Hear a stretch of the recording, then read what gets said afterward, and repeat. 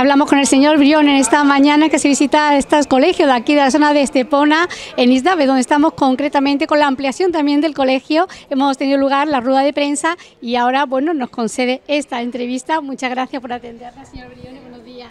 Buenos días y encantado siempre de atender y estar con vosotros. Bueno, fíjate que estaba hablando el director incluso de adaptarse también a años siglo XX, siglo XXI, pero ¿cuál será el futuro de la educación, señor Briones? Bueno, la educación siempre, por suerte, será el resorte que permita evolucionar a una sociedad y es la mejor palanca de cambio y transformación.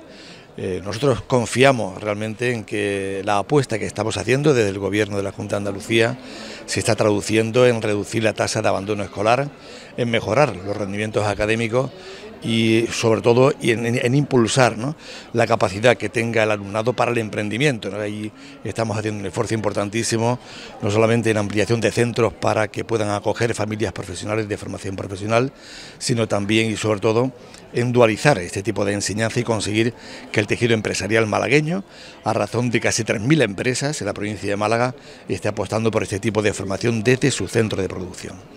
Y la inclusión, porque se habla también mucho de la inclusión, también otro tema también me gustaría que me hablase era de, la, de evaluar, ¿no? que no se quiere que se evalúe. Eh, ¿Cómo ve usted esto en un futuro que realmente se Sí, bueno, esos son dos conceptos importantísimos en, en educación y es, por un lado, el atender a la diversidad.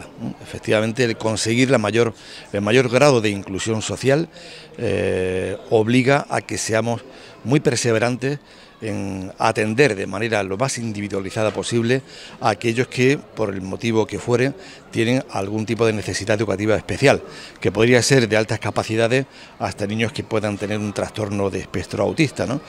Eh, en este sentido, nosotros hemos incrementado a razón de 1.500 docentes en toda Andalucía, que para el caso de la provincia de Málaga corresponden a algo más de 300 especialistas que desde pedagogía terapéutica, pasando por eh, enseñanzas eh, de áreas, eh, docentes de áreas instrumentales como lengua y matemáticas o primer idioma extranjero, vamos a conseguir sobre todo que este, este, tipo de alumnado pueda conseguir el éxito que, todo, que todos deseamos y que la familia evidentemente tanto también anhelan.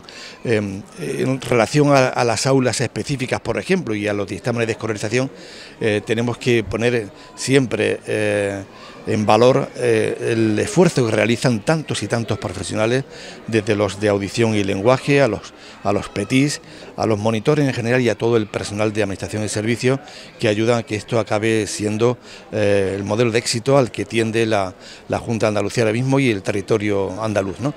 Y respecto a, a la otra cuestión que me planteaba, que era en relación exactamente a la evaluación de, la educación, es realmente la piedra de toque. Eh, consideramos que eh, la evaluación del sistema educativo, de todo el sistema, la evaluación del centro, y la eh, evaluación interna que deben realizar también los departamentos y las áreas de conocimiento son cruciales para que sepamos en dónde estamos y a dónde debemos llegar. Si no se evalúa, si no se testa, si no se contrasta, no conseguimos nunca ese objetivo y por eso siempre hemos eh, puesto de manifiesto desde el Gobierno de la Junta de Andalucía la necesidad de que esta ley actual de educación hubiese nacido del consenso y no tanto mediante un decreto de ley por imposición del Ejecutivo Central y que hubiésemos buscado también anclajes no solamente en todas las comunidades autónomas que tienen tanto, tenemos tanto que aportar, sino en un mayor grado de eh, base, eh, de, currículum base, no solamente el que hay establecido a nivel eh, constitucional y estatutario, sino también en coincidir en la importancia que pueden tener algunas áreas de conocimiento y sobre todo las transversales que nos parecen cruciales, como es el caso de la lectura diaria a razón de media hora, como hemos establecido aquí en Andalucía, y el refuerzo de las instrumentales. En esto estamos trabajando y que consideramos de verdad que la evaluación constituye eh, bueno, pues la mejor herramienta para que el sistema funcione lo mejor posible. ¿Es la escuela una escuela de vida?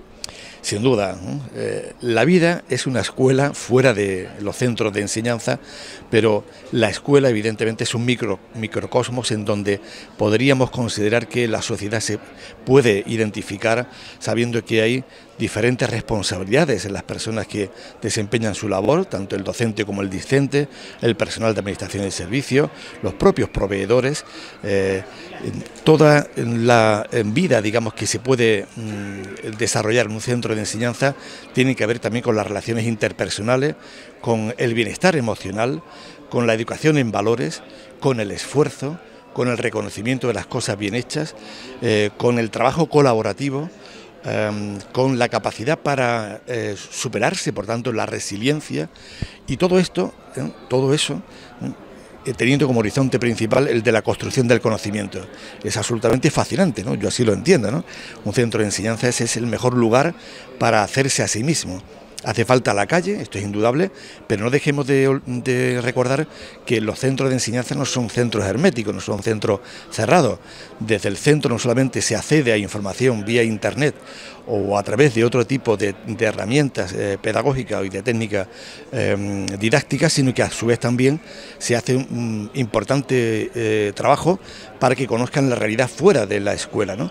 en el propio municipio, en otras latitudes, en otros incluso otros países. Hay proyectos europeos, por ejemplo, también, que acometen los, los colegios y los institutos y que tienen una importancia vital para que aprendan también todo eso, la formación en las empresas a través de la formación profesional dual. Las actividades complementarias y las extraescolares ayudan a todo eso, a todo eso también. La adquisición de, hábitos de vida saludable, que es todo, todo, como bien dice, una lección de vida. Un centro de enseñanza es el lugar en donde todo ocurre y en donde además aprendemos no solamente eh, materias, eh, conocimiento, enseñanza, sino actitudes, valores y evidentemente bueno, pues, eh, la formación integral de la persona que es lo más importante que hay. Para finalizar, ¿cuántas personas han beneficiado del aumento de las ayudas. Bueno, pues en el caso de Málaga debemos decir que han sido más de 100.000 los beneficiarios de las ayudas en servicios eh, complementarios y en actividades eh, eh y complementarias tiene una bonificación elevadísima. Pensemos que el Ejecutivo andaluz ahora mismo ha invertido para este curso más de 800 millones de euros. en el caso de Málaga, estamos hablando de 1.300.000 aproximadamente y tenemos que decir también que unido a todo esto el porcentaje de familias que por ejemplo tienen bonificado el comedor roza los el 67% y el 80% lo tiene del aula matinal.